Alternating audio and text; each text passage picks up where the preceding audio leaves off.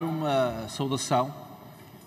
à professora doutora Lúcia Amaral, atual titular do cargo de Provedor de Justiça, pela forma como tem, eh, aliás, na sequência dos seus antecessores, prestigiado o cargo de Provedor de Justiça, que é um importante eh, órgão unipessoal da democracia portuguesa, mas que, como a professora Lúcia Amaral salienta na nota introdutória ao relatório que enviou à Assembleia da República, eh, é um trabalho que, sendo protagonizado por um órgão unipessoal, tem consigo uma eh, valiosa equipa de colaboradores que muito tem contribuído para prestigiar este órgão e que, aliás, o, cuja contribuição o relatório apresentado muito justamente salienta. Há uma grande valorização das pessoas que trabalham na uh, Provedoria de Justiça. Importa salientar que há uma eh, grande novidade neste relatório que tem que ver com a incumbência especial que foi atribuída à Provedora de Justiça relativamente às indemnizações às vítimas dos grandes incêndios ocorridos em 2017. Eh, eh, inicialmente, relativamente às atribuições das indemnizações aos familiares das, das pessoas que faleceram nesses incêndios, mas depois também relativamente às uh, pessoas que, não tendo falecido, foram uh,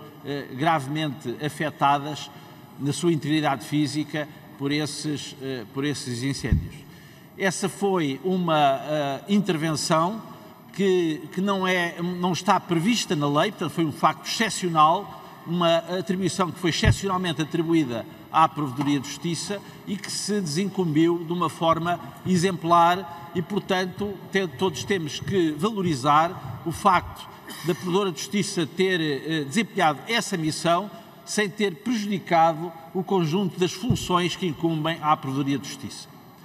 Um outro facto eh, saliente deste relatório tem que ver com eh, o facto de se ter atingido o número máximo de queixas feitas à Provedoria de Justiça. Uh, o que representa não só o facto de que há muito que é preciso melhorar ao nível da administração pública em Portugal a todos os níveis, mas também representa um fator de prestígio para a Provedoria de Justiça. As pessoas acreditam que, por intervenção do Provedor de Justiça, é possível reparar injustiças cometidas no nosso país e, aliás, a, a forma como crescentemente têm vindo a ser acatadas as recomendações do Provedor de Justiça é um é elucidativo do prestígio que esta instituição tem vindo a granjear. Mas, evidentemente, que eh, o relatório do Provedor de Justiça, designadamente quando toca em aspectos críticos do funcionamento da administração de Portugal a vários níveis e de situações sensíveis do ponto de vista do respeito pelos direitos humanos, como é designadamente o caso da, do sistema prisional, importa valorizar muito os, o, este relatório. E importa que, na próxima legislatura, porque esta está a terminar, e portanto este relatório é apreciado Peço no para momento, concluir, vou imediato, Sr. Presidente, este relatório é-nos apresentado no momento em que a intervenção legislativa da Assembleia se está a esgotar, mas este relatório uh, apresenta recomendações de grande importância que é preciso rever no futuro e a breve prazo. E, portanto, fica aqui o repto para a próxima legislatura dar cumprimento cabal àquilo que é recomendado neste relatório do Provedor de Justiça. Muito obrigado.